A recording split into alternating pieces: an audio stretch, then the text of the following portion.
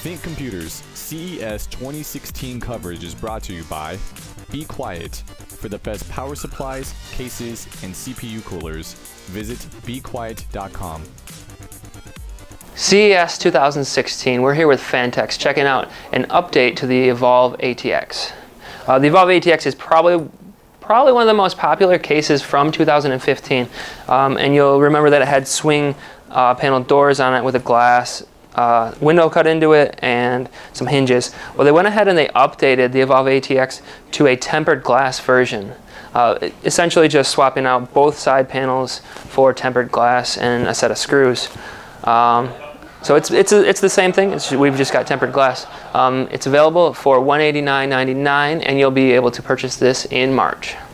Think Computers has CES 2016 covered. Be sure to follow Think Computers on social media or check out thinkcomputers.org slash CES 2016.